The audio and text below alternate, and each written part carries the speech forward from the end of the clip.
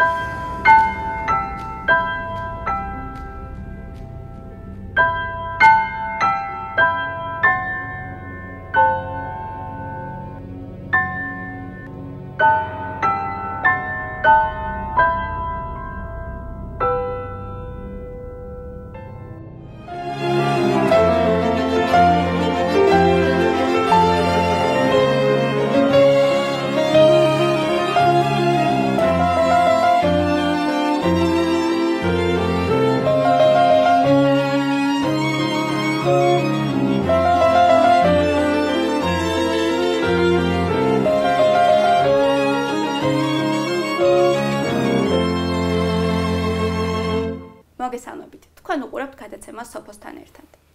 არის ბედნიერება?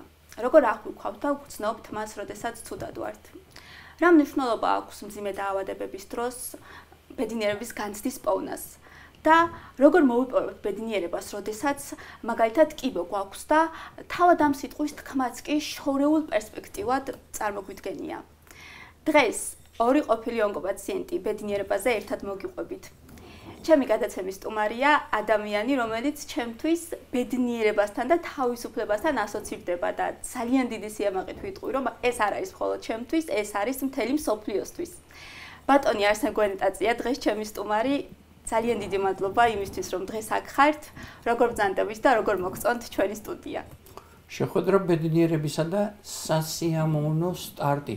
ძალიან მომეწონა ემოციურად, რასაც ეხლა შესავალით მიმართე მაყურებლებს. მე როგორ ვარ? მე ერთადერთი ოფცია მაქვს, რომელსაც აქტიურად, ასე ვთქვათ, საკუთარ თავს ვამკვიდრებ ამ ოფციაში, კარგად და საუკეთესოდ ყოფნის. როგორ არაფერი მაწუხებს, როგორ გამოწვევა არა მაქვს პრობლემებს რო ვეძახით. უამრავი, მაგრამ რაც მეტი მაქვს გამოწვევა, მით მეტია ჩემი მობილიზება იმისკენ, რომ ვიყო კარგად და კიდევ უფრო უკეთესად. როგორ ვახერხებ? მოდი გაზნავსებაში ვისაუბრებთ ალბათ ამის შესახებ, თუმცა ერთს გეტყვით რომ მე თუ მკითხავთ ვახერხებ და ძირითადად ეს სუბიექტური განცდაა ყველაფერი. ერთი და იგივე მოვლენა შეიძლება מחარებდეს, შეიძლება ისე რა არამიშავს ნეიტრალურად ვიყო და შეიძლება მამწუხრებდეს ან საერთოდ სიცარიელეს მკვრივდეს. მე კი დღეს მაქვს ეს ძალა და ვგრძნობ რომ მივახციე მომენტს, როცა უმეტესი მოქმედებები თავისუფლების და ბედნიერების გარკვეულ იმპულსებს აღმიძრავს. არა ყველაფერი, მაგრამ უმეტესი მათგან. თქვენ არამხოლოდ გაქვთ ეს განცდა, ძალიან ბევრს გასცემთ. მე ძალიან ბევრი მინდოდა თქვენზე მესაუბრა, მაგრამ თან სწრაფად მემინდოდა მოგცალმებოდით. თქვენ ხართ ჩემთვის ადამიანი, რომელმაც არც ერთხელ არ მომეცით წაქცევის საშუალება და რამდენჯერაც ვაპირებდი და ძალიან რთული პერიოდი მქონდა. იმ მომენტშივე იმდენად უთქმელად მიხვდით და წავომაყენეთ რომ ერთია ეს ზალა ქონდეს ადამიანს და მეორე ისე გასცემდეთ როგორც თქვენ ჩემი ცხოვრების საუკეთესო მეგობარი ხართ. ამიტომ მომიტევეთ რომ მე ნერვიულობ და ცოტა მე მგონი ხმაზეც მეტყობა ძალიან დიდი მადლობა რომ ეხლა აქ ხართ. ყოფილი ონკოპაციენტი. მინდა რომ პირველი კითხვა ასეთი იყოს დიაგნოსტირების მომენტიდან დღემდე რას გაიხსენებდით, როგორ გახსენდებათ ის პერიოდი, როდესაც პირველად გამოჩნდა სიტყვა კიბო თქვენს ცხოვრებაში? პირველი სოფო, უნდა გითხრა, რომ რაც შენ ახლა თქვი, რომ ბევრჯერ წამომაყენეთ, აა ჩემთვის ეს პირდაპირი გაგებით შეიძლება ითქვას გარკვეული სიურპრიზიც არის. რატომ? მინდა რომ ტელემაყურებლებისთვის თქვა, რომ ფიზიკურად აი ესეთ რეალურ ცხოვრებაში ჩვენ დღეს მესამე ხვდებით ერთმანეთს. პირველად ერთხელ თქვენ მოყვედით კლინიკაში ჩემთან, როგორც მეგობარი მე მოგიწვიეთ, მეორედ რა სამი დღის უკან ბედნიერების ჩუქების დღეზე და დღეს არის ეს მესამე ჩვენი ასე ვთქვათ რეალური შეხვედრა. თუმცა ჩვენ ერთმანეთი სოციალურ სივრცეში და აღმოჩნდა რომ თქვენ ჩემი პირველი ბედნიერების ჩუქების დღის სტუმარიც ყოფილხართ. მე ახლა ეს აღმიდგა თქვენ რომ მითხარით იმ თქვენს მეგობართან ერთად, მაშინ მას კარგად ვიცნობ და ბიზნეს და ისინი ჩემთვის კარგი ადამიანების ემოციას ბადებენ. თუმცა კიდევ ერთხელ ორჯერ ორჯერ ვთქვი ეს თუმც იმიტომ რომ ჩემთვის საინტერესოა რა მომენტები იყო ასეთი, მაგრამ რადგან თქვენ ამას თვით მე დარწმუნებით ვიცი, რომ ეს არის გულწრფელი ნათქვამი. ეს არავისთვის არ არის დავარქვათ ასე მოგონილი ისტორია და მე მიხარია თუ ეს რეალობა დღეს აქ პირველად ჩემთან ერთად ვიღაცასაც გახდეს ბედნიერს. ეხლა მადლობა ამისთვის, ბევრი მადლობა. ეხლა კითხვაზე პასუხი. რა ემოცია იყო, როდესაც გავიგე რომ კიბო აა ჯერ იყო შეიძლება მქონოდა და მე უკვე რო დამირეკეს და მითხეს მაქვს. მოკლედ გავიხსენებ ამას. პარასკევი დღე იყო 2010 წლის ზამთრის აა თებერვლის დასაწყისი იყო თუ სწორად მახსოვს და მორიგ წელიწადში ერთხელ დავდიოდი კოლონოსკოპიაზე, ანუ მსხვილი ნაწლავის კოლონოსკოპიური კვლევის პროცედურაზე. და მითხრა ექიმმა ბატონმა გიამ უხაშავრიამ ჩემმა მეგობარმა და ფიქრობ რომ ძალიან მნიშვნელოვანმა ადამიანმა ჩემ ცხოვრებაში, როგორც პროფესიონალმა,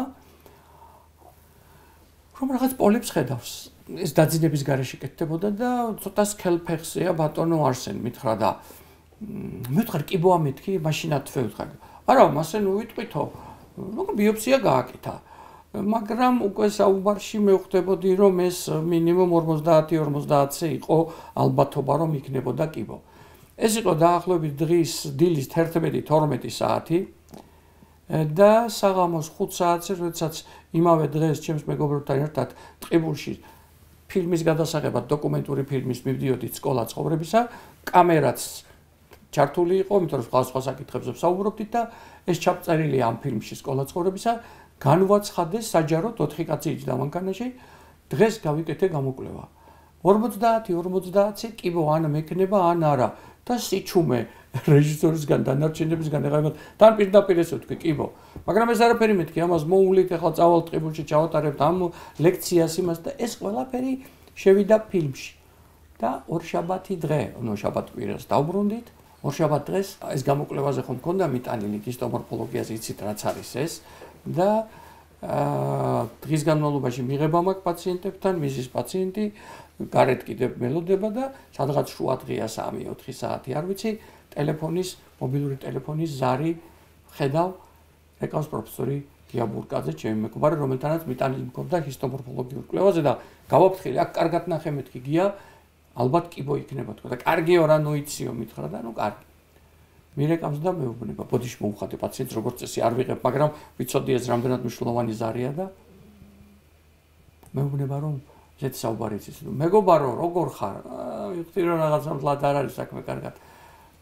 იცი რა იქ მძიმე დისპლაზია იცით რაც არის. ანუ კიბოს წინარე და მე ვთქარ გასაგებია რაც არის გავერცვეუბნები პაციენტის წინაშე ვზივარ და ახლა კიბოა პაციენტი.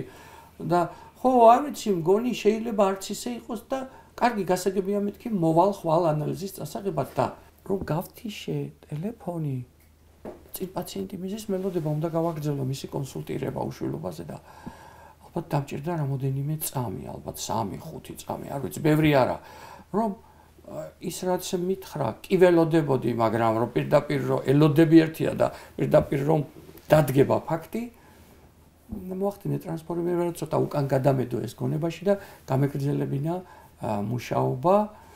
და ნუ მე უკვე ნელა ეგუები პროცესს და სხვა, თუმცა ეს იყო რთული ემოციური ნაწილი ჩემი ცხოვრების. აი, ის იყო ის პირველი შეხება ამ დაავადების სახელთან, რასაც ქვია კიბო.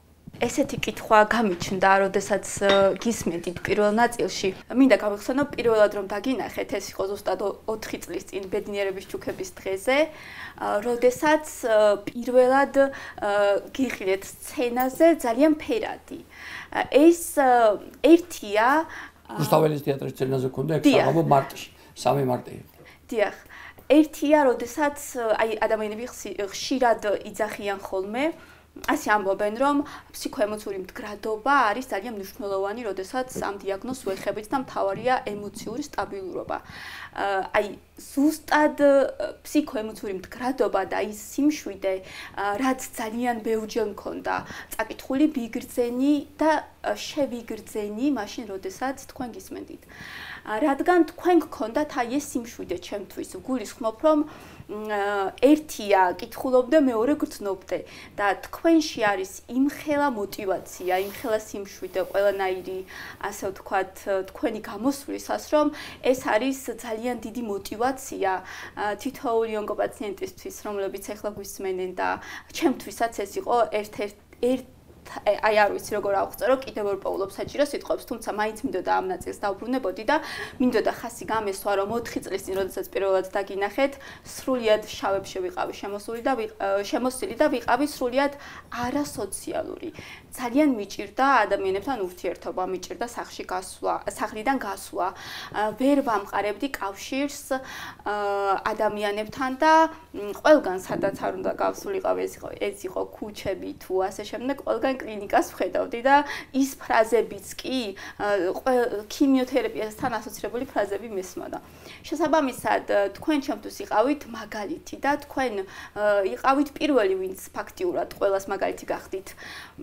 და შეუძლებელია ეს გადმოსცე და შეუძლებელია აღწერო, რამდენად მნიშვნელოვანია ამის გაზიარება სხვა ადამიანებისთვის და გარდა ფსიქოემოციური მდგრადობისა, ჩემი ყოველდღიურობა სულ შავთან ასოცირდებოდა და შემოსილი ყოველთვის შავად ვიყავი და თქვენ ჩემში იყავით სიფერადის პირველი აღქმა და შემხებულობა და დღეს 4 წლის შემდეგ მეც უკვე ფერადად ვარ და ეს არის იმ თქვენი ემოციების ყოველდღიური გაზიარების შედეგი და ზუსტად აი აქეთ მივდივარ ამდენი ხანია რომ მართალია სულ მესამედ გხედავთ, მაგრამ რეალურად თქვენ ყველა იმ ადამიანის ასე ვთქვათ ყოველდღიურობაში ხართ და ამ ძალას და мотиваციას გვიგზავნით და ძალიან დიდი მადლობა ამისთვის. იმდენად საინტერესო და გულწრფელია შენი საუბარი მე დამაფიქრა შემდეგ რამეზე. პრაქტიკულად დიახ გეთანხმები ერთ-ერთი პირველი ვიყავი ჩვენ ქვეყანაში, როდესაც პირველად ღიად ეთერებით დავიწყე საუბარი, რომ მე კიბო გადავიტანე. დიდად არ მიყვარს სიტყვა დავამარცხე და რაღაცა გმირობა ჩავიდინე. არა, უბრალოდ მე გადავიტანე, დროულად ვნახე, დროულად გავიარე ის რეკომენდაციები და შევეცადე ამისგანაც კი დიდი პოზიტივი მეპოვა და ვიპოვე კიდეც. მარტო 4 ტონიანი ერთი დიდი მზის სამოსვლის მონუმენტი უძღვენი ადამიანებს, ვინც სიკვდილისში დაძლია, შენს გეძღვნება ეს თავისთავად ცხადია. და ხვდები, ეხლა იმდენად წრფელია ეს ემოციები და ეს ნოტა, რომელიც მესმის სიამაყით მინდა გითხრა, რომ რასაც ვფიქრობდი გონებაში, რომ შენი ბოდიში ამ ასე ვთქვათ წრფელი და ფამილარული შეფასებისთვის, მაგრამ შენი სიტყვათა მარაგი, შენი ემოციათა წყობა, შენი ეს ნაკადი იმდენად კარგია ბევრ ახალგაზრდას, რომელიც შენი თაობა ბევრ მოტივს და იმედს დიდს მისცემს. და მეც როგორც აღმოჩნდა ამ ყველაფრის სათავეში ერთ-ერთი ჩემი ადამიანური რესურსი ჩავდე. ეს ძალიან მომწონს. ასე არასოდეს შემიხედავს ამ ყველაფრისთვის, გოწრფელად გეტყვი, თუმცა დიახ, მუდამ რო საუბრობდი და ბევრი ადამიანს უთქვამს, რომ თქვენი იმედი გამიჩინეთ და სხვა, ეს ყოფილა, მაგრამ ეს უკვე სხვა მასშტაბზე გადავიდა და მადლობა თქვენ, თქვენ გადაცემას და თქვენი გადაცემის დამაფიქრებელ ავტორებს, ალბათ თინათინს თუ მას მის ჯგუფს. დიდი მადლობა. ძალიან მიყვარს ხოლმე ასეთი გამოთქმა, რომ რაც ერთ პაციენტს შეუძლია გააკეთოს მეორე პაციენტისთვის, გამორიცხულია, რომ ეს სხვამ შეძლოს და აი რამდენად დიდი მნიშვნელობა აქვთ პაციენტებს ერთმანეთისთვის აი ამ мотиваციის გაცემის და გადაცემის ამბებში. რამდენად ემხრობით, რომ ჯანდაცვის სექტორში ჩართულები იყვნენ ყოფილი პაციენტები უფრო და უფრო აქტიურად. ძალიან მიყვარს ხოლმე ამ კითხვის დასმა, რადგან მგონიამ რომ ძალიან მნიშვნელოვანი საკითხია. სოფო გეთაყვა მე არ ვიცი რას გულისხმობს ჯანდაცვის სექტორში ჩართულობა ამ ამ დეფინიციით მაგრამ მე ვიცი რას ნიშნავს სიცოცხლის აღქმაში ჩართულობა ანუ სიცოცხლე შეგეძლოს და მას აზიარებდე. პოზიტივი შეგეძლოს და მას აზერბაიჯანერება გაზიარებით იბადება. ისევე როგორც ისევე როგორც პოზიტივი ბედნიერებად შეიძლება დაბადო, სიხარული და შექმნა და ბედნიერებად დაბადო.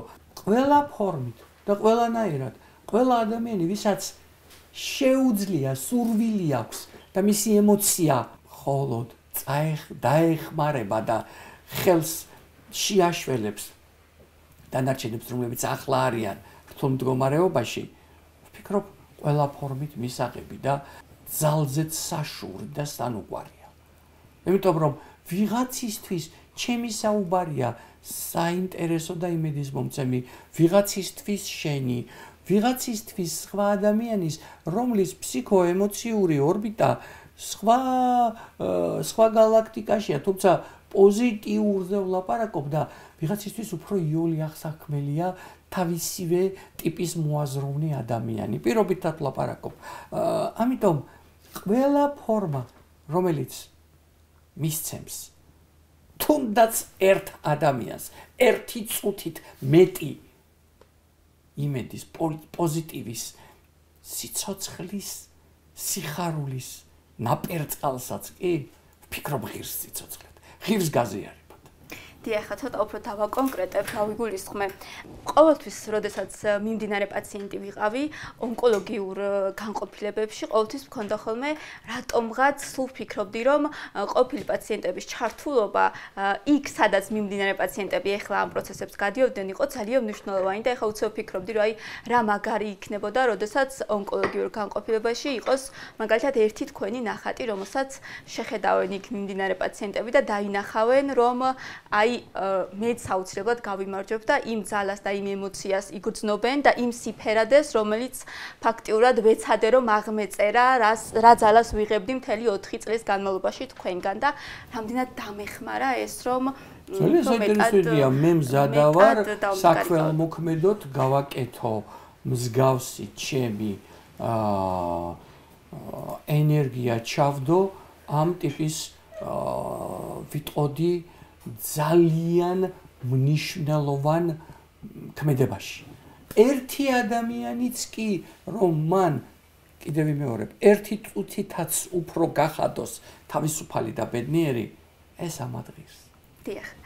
გეთახმებით ეს ნამდვილად ძალიან დიდი და მაგარი საქმე იქნება.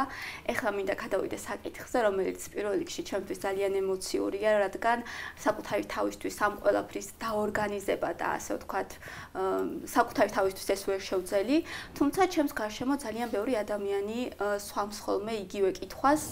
მე ყოლება შვილი, როდესაც კიბო მაქვს, როდესაც ონკოლოგიურ დაავადებებს ვეხებით, როდესაც ჩვენში რჩება დიაგნოზი და ამ ბოლო დროს ძალიან ბევრს განიხილავენ ხოლმე, რომ კიბო გაახალგაზრდავდა, რომ დიაგნოზის აღმოჩენა უფრო და უფრო დაბალ ასაკში ხდება. ეს რა თქმა უნდა შესაძლებელი გახდა. დიახ, დიახ, მოგვიტანა დღევანდელობამ.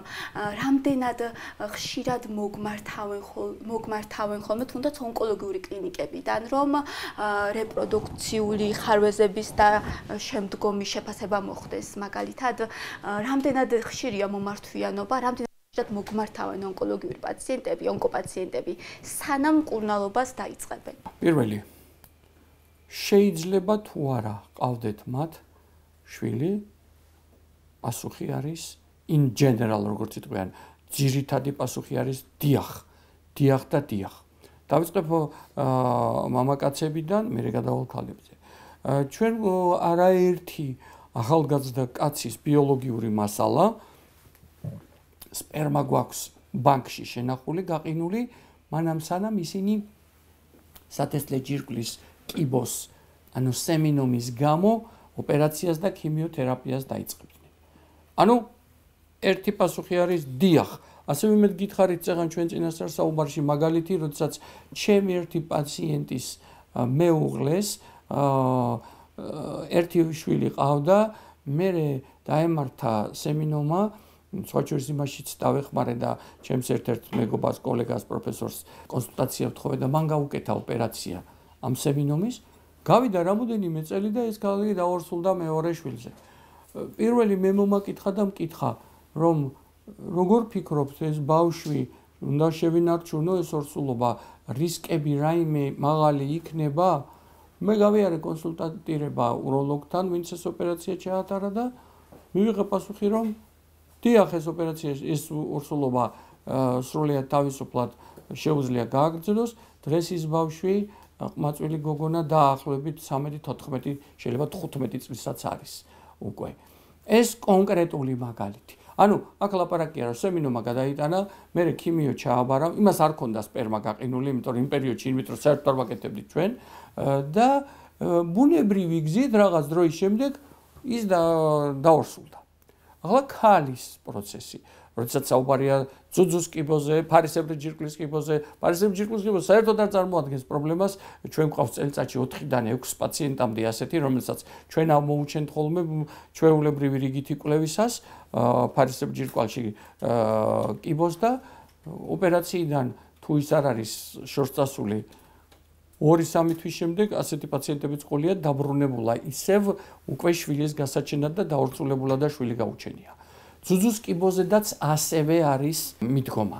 ეხლა შეიძლება საკვერცხის კიბოს ან სხვა ტიპის კიბოებს, როდესაც მაგალითად თქვენს შემთხვევაში ხო, როდესაც ბევრი და დიდი დოზით არის ქიმიოთერაპია გაკეთებული. თუ გუნავს თუ არა ის საკვერცხებს. დღეს არის ამის საშუალება, რომ ქიმიოთერაპიამდე მოვიდეს და ამას წინა თქავდა ერთი პაციენტი ლეიკემია დაუდგინეს და ყმაწვილი გოგონაა და სანამ ის ქიმიოთერაპიას დაიწყებდა გადაწყდა კვერცხუჭრედის შენახვა ну იმ კონკრეტულ შემთხვევაში რაღაც ტექნიკური მიზეზის გამო არ შეედგა ეს პროცესი, მაგრამ თეორიულად ეს შესაძლებელია და პრაქტიკულადაც ვაკეთებთ. ახლა იქ სადაც ვერ ჩვენ საუბრობდით, რომ თქვენთან წინასწარ ვერ მოხდა დროში თქვათ შენახვა გამეტები, უფრო სწორად ოოციტების, ანუ კვერცხუჭრედების. გაქვთ თუ არა შანსი ორსულობისა თქვენი ბიოლოგიური მასალით? პასუხი არის არასოდეს თქვა არასოდეს. თემა არის ასეთი. ნახეთ, დღეს მედიცინას რაც შესაძლებლობებიც აქვს, ის განუხრელად იხვეწება და ფართოვდება. თქვენ ხართ ახალგაზრდა. თქვენი დრო შვილის გაჩენისათვის თეორიულად ყველაზე ცოტა დღეიდან 10 წელი მაინც არის, ხო, თუ მეტი არა. უფრო მეტიც, მაგრამ აი ესეთი კარგი დრო, სადღაც 38, 35 და 38 წლამდე, ხო? ეხლა წარმოიდგინეთ, იმდენად სწრაფად იხვეწება ტექნოლოგიები, ტექნიკა და თქვათ ასეთი პაციენტის საკვერცხიდან კვერცხუჯრედის შესაძლო. ამიტომ ნამდვილად არ ვიტყვი არას, იმიტომ კი არა რომ რაღაც არასწორი მოლოდინი გაგიჩინოთ.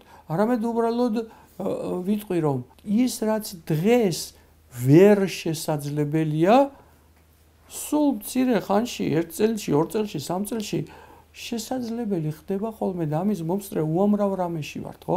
ჩვენსავე თაობაში მოხდა დაწყებული ელემენტალური მობილური ტელეფონის ჩანასახიდან დღეს მინი კომპიუტერის თუ დიდი კომპიუტერის, რა ვიცი, ტელეფონად ქცევა და ტელეფონის კომპიუტერად ქცევა და ყველაფერი შესაძლებლობები მითი აქედან გამომდინარე. რა კავშირშია? ტექნოლოგიებთან არის ეს ყველაფერი კავშირში და კვერცხუჯრედის ბიოლოგიური მასალის არსებობა გვაძლევს საშუალებას შემდეგში შვილოსნობის ფუნქცია ამა თუ იმ ფორმით იყოს რეალიზებული.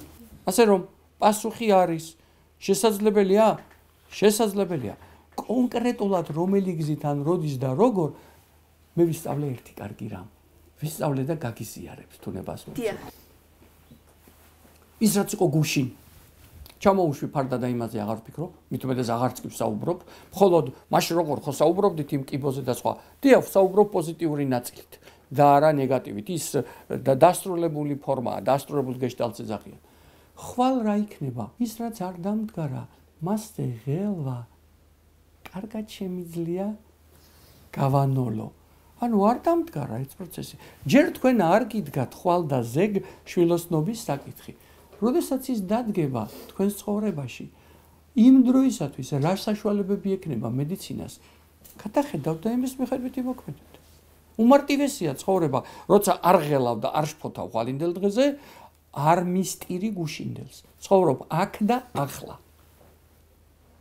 რასაც ნელ-ნელა როგორც ხედავ აკეთებ თქვენ დიახ. და მაქსიმალურად რომ დაიცვან ადამიანებმა თავი და იზრუნონ იმისთვის რომ არასდროს არ დაკარგონ შვილოსნობის ფუნქცია როგორც თქვენ წეგან ახსენეთ.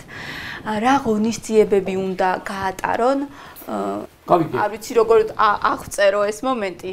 სანამ აი თუ ეს დიაგნოზი მათ ცხოვრებაში გაჩნდება მაქსიმალურად რა ღონისძიებები უნდა გაატარონ, რომ თავი მაქსიმალურად დაიცვა. კეთილი, როგორ გავიგე კითხვა ვიტყვი და მე შევეცდები მას უპასუხო.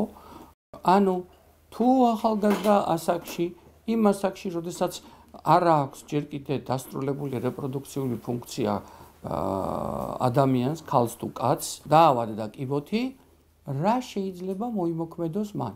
ხო? იმიტომ რომ მე როცა კი მომამართა მე მყავდა უკვე ორი შვილი და ის საკითხი ჩემთვის აღარ იყო ნომერ პირველი აქტუალობის და არც ნომერ მეორე აქტუალობის. თუმცა უნდა გითხრათ რომ მეც მინდოდა. მესამე შვილის გაჩენა უბრალოდ მეუღლესთან ერთად ვერ მივახციეთ თანხმობას და ვფიქრობ რომ სწორი იყო ის იმიტომ რომ შვილის რაოდენობა ეს ზოგადად არის კარგია ბატონო მაგრამ ცხოვრების ხარისხს როგორ უცვლის ადამიანს ეს თუ არ გაითვალისწინა ეს კიდე სხვა სხვა ცალკე საკითხია. ეხლა დაუბრუნდები თემას. პირველი რაც შეიძლება იყოს გათვლილი გონებაში და კარგი ორგანიზების ანუ მენეჯმენტს რო ეძახიან პირობებში თუ მე აღმომაჩნდა კიბო ახალგაზრდა ასაკში და მამაკაცისთვის ეს გაცილებითი ოლია სპერმის ჩაბარება კრიო ბანკში ამა ეს უკვე კარგად ისწავლეს ადამიანებმა ექიმებმაც და ძალიან მარტივი პროცედურაა. ის ინახება თუნდაც 10-15 წელი და ანუ იმ შემთხვევაში თუ შემდგომში სპერმის წარმოება და რეალიზება აღარ ექნა მის ორგანიზმს მას შეუძლია საკუთარი მასალის ბანკიდან საკუთარი ბანკიდან გამოყენება. ქალის ორგანიზმში მსგავსი რამ ხდება. უმეტეს წილად წეგან ვახსენეთ ერთი ლეიკემიანი პაციენტი ის მცირე პერიოდი რომელიც დაახლოებით 2-3 კვირაა თქვა ქიმიო ან სხვა ოპერაციის წინ დაწყებამდე შეუძლია ქალმა კვერცხუჯრედების ბანკში გასაყინად ანუ საკვერცხების სტიმულაციისათვის და ბიოლოგიური მასალის შესანახად გამოიყენოს შესაძლებელია, არათუ შესაძლებელია, ამას რუტინულად აკეთ ვაკეთებთ ჩვენც და თანამედროვე მედიცინაც. უბრალოდ ის დრო, როდესაც დავარქვათ ასე, რთული და ემოციური დარტყმა მოდის, როცა პირველი ეს დიაგნოზი ისმება, ექიმის როლი ამ შემთხვევაში მნიშვნელოვანია, რომ მარ კარგად განუმარტოს, რომ შეგიძლიათ ეს უთხრას ეს მშობლებს თუ ის არაცრულწლოვანია, ან თვითონ პაციენტს თუ ის უკვე სრულწლოვანია. დიახ, ძალიან მნიშვნელოვანია ამ დროს, რომ ეს ინფორმაცია, ძალიან საჭირო ინფორმაცია, ძალიან დროულად მიიღოს პაციენტმა და ეს არის ხოლმე, როდესაც აუცილებლად უნდა იყოს კურნალობის დასაწყისში და ვისურვებდი, რომ ეს გადაცემა ძალიან ბევრმა ადამიანმა ნახოს და ეს საჭირო ინფორმაცია. მაქსიმალურად ბევრმა ადამიანმა, დიახ, არათუ გაიგოს, არამედ გააცნობიეროს. და ჩვენ დარწმუნებული ვარ ძალიან ბევრ ეთერს დავუთმობთ ამ თემის ადვოკატირებას და იმას, რომ მაქსიმალურად ბევრ ადამიანს ადამიანებამდე მივიტანოთ, რადგან მართლაც რომ ძალიან მნიშვნელოვანი და ძალიან საჭირო. სუპერ. აა ვერ ფარავ აღფრთოვანებას. უკეთესიც, უფრო მეტიც ვიტყოდი ესე რომ ალბათ რაღაც headline-ით შეიძლება იდეა გამიშთა შეიძლება ერთი ნახატი ამასაც მიუძღვნა რომ საკუთარი ბიოლოგიური მასალის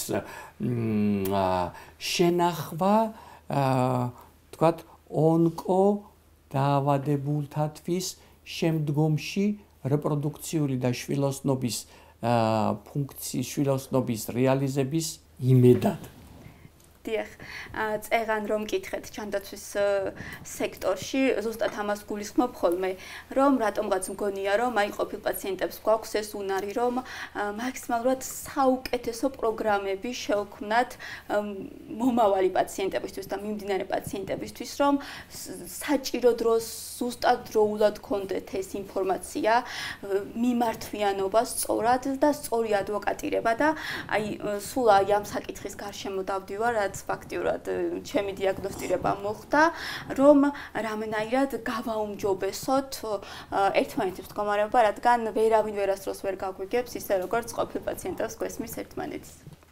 დიახ. დიახ და დიახ და ნება მომეცი პატარა რამ ჩანართი გავაკეთო მე ძალიან ხშირად ვამბობ პირველივე შესაძლებლობისთანავე რომ ერთადერთი ადამიანი ვისი იმედიც უნდა მქონდეს ვარ მე საკუთარი თავის მიმართ. როგორ ექიმ არ უნდა მითხრას დედა მამამ ვიღაცამ დიახ შეიძლება მათ მითხრან მაგრამ მე თუ არ გავიგე თუ არ აღვიქვი და თანაც თუ არ მეწოდინა რომ პასუხისმგებლობა ჩემზეა ჩემი ცხოვრების სულ ვიტყვი იმან კარგად არ მითხრა იმან კი მითხრა მაგრამ ვერ გავიგე. ამიტომ სოდნა მაშინ, როდესაც დაალაგებულ გონებაზე ხარ და შეგიძლია აღიქვა რომ ქალისათვის გამრავლების საუკეთესო პერიოდი 35 წლამდეა, 35-დან 38-მდე ნელ-ნელა იკლებს კვერცხუჯედის მარაგი 38-დან სწრაფად იკლებს ჯანმრთელ ადამიანებზე ვლაპარაკობ. ხოლო მეორეს მხრივ ის რომ ონკოლევის ფარგლებში სანამ ქიმიო თუ სხვა ტიპის პროცედურას დაიწყებდე თუ შვილის შემდგომში კიდევ გაჩენა სურს ადამიანს. შეუძლია თავისი ჯანსაღი ბიოლოგიური მასალა კვერცხუჯრედი თუ სპერმატოზოიდი შეინახოს. ეს ძალიან ხშირად და ძალიან ბევრჯერ უნდა თქვათ ვთქვათ. და მათ შორის შეიძლება სწორი თქვით თქვენი ყველა გადაცემის მოკლე ჰედლაინის შეხსენება იყოს. რა არის საერთოდ გადაცემა? ან რა არის აქტივობა? რომელშიდაც ჩვენ ენერგიას ხარჯავთ დროს და ემოციას რას ემსახურება ეს? ეხლა ძალიან კარგ წიგს ვკითხულობ, იაპონელების მიერ არის შექმნილი არსი არსობისა. ანუ ჩემი დანიშნულება ამ სამყაროში ყოფნისა. ჩემი არსი ცხოვრებისა რა არის? გავიგო ეს და ამით ვიყო ამაყი. ერთ-ერთი სწორედ ეს არის ამ გადაცემის და მსგავსი ტიპის რაღაცის რომ ადამიანს თუნდაც ერთი იოტისოდენა მნიშვნელოვანი ნაბიჯით დაამახსოვროს რით შეიძლება მისი ცხოვრება უკეთესი გახდეს და კარდინალურად შეიცვალოს. ეს პატარა რაღაცეები წყვეტს მთელ ცხოვრებას. შენახული ამ შემთხვევაში ბიოლოგიური მასალა ყველაფერს რო თავი დაანებოთ. ნახეთ, იმედს უჩენს ადამიანს, რომ თუ დაშჭირდა, შეიძლება ისე გაიაროს ცხოვრება არ დაშჭირდეს. შეიძლება დაშჭირდეს და მან არ მისცეთ ორსულობა, არ არის სავალდებულო რომ აუცილებლად იქნება, მაგრამ მას ეს იმედი აქვს, მას ეს სიცარიელი არ აქვს, მას ეს ეგულება თავისი ნამოქმედარიდან ერთ-ერთ კარგ საინტერესო გადაწყვეტილებად და ამაყობს თვითდაჯერებასაც მეტ ხარისხს ძენს, რაც ცხოვრების ხარისხის პირდაპირი განსაზღვრელი. დიახ, ძალიან დიდი მადლობა კიდევ ერთხელ. ეს არის ნამდვილად ის მზის ხივი და ის დადებითი, რაც შეიძლება ადამიანმა იმ ბურუსში თუნდაც წარმოიდგინოს, ჩაიჭიდოს და აი ესე იმედიანად იაროს.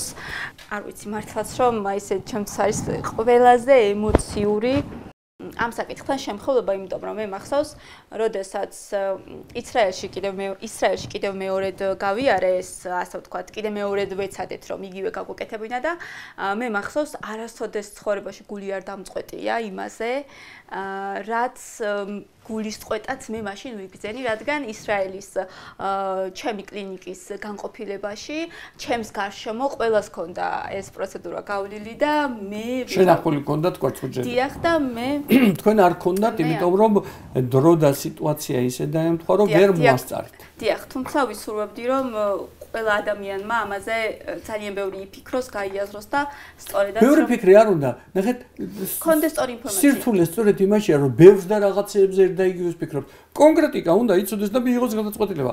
მარტივად და ნათლად. ყველაფერი გენიალური არის მარტივი. ბატონო არსენ, თქვენ ხართ ექიმი და ამავდროულად თქვენ იყავით პაციენტი. როგორია პაციენტის თვალით დანახული ჯანდაცვის სექტორი? რას ნიშნავს და რა ძალა აქვს პაციენტისთვის ექიმისადმი ნდობას? საერთოდ ჩემი ცხოვრების წესი ადრეც ასე იყო, მაგრამ ბოლო წლებში კარდინალურად ნდობაზეა დამყარებული. იმდენად რომ სანამ კონკრეტულ კითხვას უპასუხებდე, გეტყვით რომ ერთმა ჩემმა მეგობარმა, ხატვარმა ისეც კი მკითხა, მე ძეგლი გავაკეთე ნდობის, დინარის, ანუ ნდობიერების, ნდობის დინება დავარქვი. ანუ ნდობა ყველას თქვენ, ჩემი როგორო არასოდეს გაგწრუები, აი მედიო მკითხა, ანუ ყველას ენდობი. არა მეუთხარი, იმიტომ რომ ძალიან მარტივია მეთქი ეს. არასდროს არავისგან არაფერს ველი. ნდობა არ ნიშნავს რომ მას ვანდე ჩემი გული რომელიც შეუულია ხელში ეჭიროს და თუ გაუვარდა მე მოვკვდები. ხო? ჩემთან რომ მოდიან პაციენტები და მეუბნებიან, დღესაც იყო პაციენტი, რომელიც არ ვიცი, ანუ არ არის რომ კოლეგამ გამოაგზავნა ბიძაშვილმა და სხვა, მე მოგისმინეთ და მე თქვენ გენდობით და დანიიდან იყო ჯამოზული ასეთი პაციენტი სხვა ქვეყნებიდან და მათ შორის ის არა ქართველი იყო, ქართველი კიდე მეტინიკურად უკეთესად გისმენს, ხო? ნახეთ ნდობა უმნიშვნელოვანესია პაციენტის მიერ ექიმისადმი. და ჩემი ნდობაც იმ დიაგნოზის თუ იმ ქმედების მიმართ იყო იყო სრულფასოვანი. ну მქონდა გართულება მე და მე გართულების შემდეგ კიდე სხვა ოპერაციები დამჭირდა და ამასინათ ერთ-ერთ გადაცემაშიც გააჟღერეს ეს დაახლოებით 3-2-3 წლის უკან მითხრა ქირურგმა, რომელმაც 13 წლის უკან გამიკეთა ოპერაცია და დავით აბოლაძემ პროფესორმა ჩემო მეგობარმა. ახლა მითხრა 2-3 წლის წინ, რომ არ მე ესე სუფრასთან ოფნის დროს არსენ, მე ახლა შენ რო გიყურებ, ახლაც მიკვირს შენ რო ცოცხალი ხარო. ანუ არ მეგონა და გუშინ წინ ეს სატელევიზიო ეთერშიც დაადასტურა, რომ მათ ინტერვიუ თხოვეს ერთ-ერთი გადაცემიდან და ნამდვილად არ მეგონაო დიდი ალბათობით ფიქრობდი რომ ვერ გადარჩებაო. ეს მე მაშინ არ ვიცოდი მაშინ რა თქმა უნდა მას ჩემთვის ეს არ უთქვამს მაგრამ 8-9 წლის მერე რომ მითხრა კიდევ ერთხელ ტანში ჟურნალტელმა გამიარა რომ თურმე სად რამდენად მძიმედ ვიყავი. მაშინ ამას ხო ვერ ხვდები თქვენს გავლილი გაქვთ. მაშინ 1000-ნაირი ეიფორიაში ხარ. მაშინ შენი მოქმედება არის საკუთარი გადარჩენისკენ ყველა შენი რესურსის მიმართვა რაც კი გაქვს ნდობა ძალიან მნიშვნელოვანია. ასარჩევად რომ კონდეს ალბათ არ ვენდობოდე და ყველაფერში ეჭვი შემქონდეს, კარგია თუ არა, ჩემი გაგებით არა. მირჩევნია, ეხლა ასეთი პირდაპირ პაციენტს არ ეხება, მაგრამ ცხოვრებისეულ საკითხებზე ცხოვრნა ვისაუბროთ. ხშირად ჩვენს ქვეყანაში მშობლები შვილებს ასწავლიან, ან ერთმანეთს უმეორებენ ადამიანები. არენდო კაცო მოგატყუებს, ის მოგატყუებს, ვაშლის გამყიდველი მოგატყუებს, იმის გამყიდველი. ამაზე მე ვამბობ, მირჩევნია მან მომატყუს. რა უნდა დამაზარალოს? სამი ვაშლით ნაკლები და მეტი გადამახტევინოს. ადამიანებმა იციან არა ფული კი არ მენანება რატომ უნდა მომატყუს სულელი ხომ არ გონი ვარ. თუ მატყუებს და ვერ ხვდები მირჩევნია რაც გინდა ის მეგონო ვიდრე ამაზე ჩემი ემოცია დაიხარჯოს და ყველა ადამიანში პოტენციურ მომტყუებელს ხედავდე და ამით ჩემ თავსაც ტანჯავდე ეჭვით და ვიღაცასაც შეურაცხყოფას ვაყენებდე მათ შორის სამედიცინო ნაწილშიც. დიახ, დიახ და დიახ. ნდობა პირველ რიგში ჩემთვის, როგორც პაციენტისთვის არის მნიშვნელოვანი, რათა სიმშვიდე ვიპოვო. ნდობა არ ნიშნავს არ კითხო კარგად.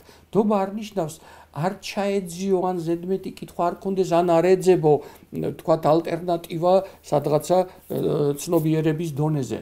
ნდობა ამას არ ნიშნავს თვალდახუჭული და ბრმათ იყო, მაგრამ უნდობლობა უკვე არის ცხოვრების მძიმე ტვირთი. და შეიძლება ყველაფერი კარგად გქონდეს. მიუძღვენი დიდი ძეგლი თქო. 2 მეტრზე ნახევარია. ნდობიერება. დავარქვი. ასეთი სიტყვაც კი არ არსებობს.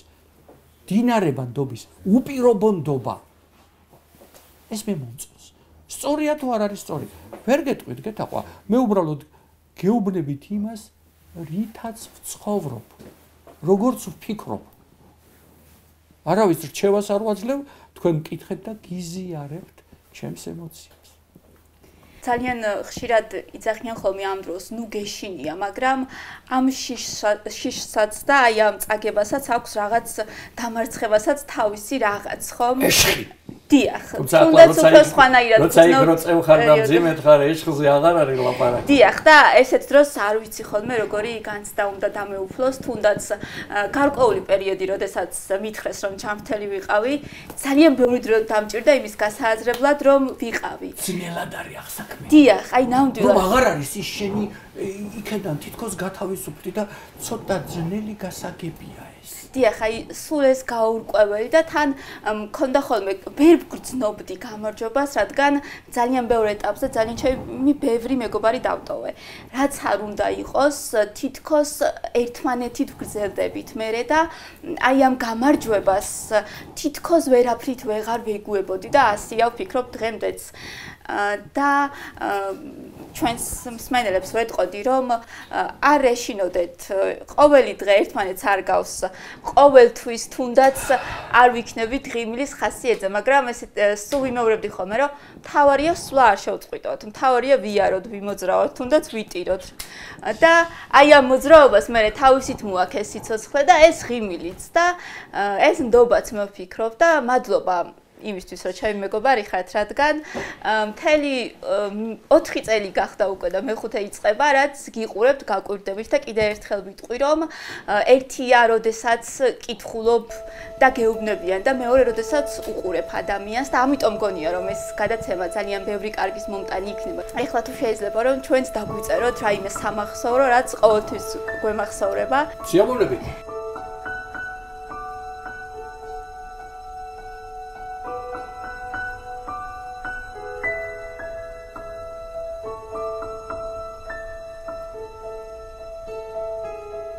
არ გაჩერდე ცხოვრება არ დაგიცდის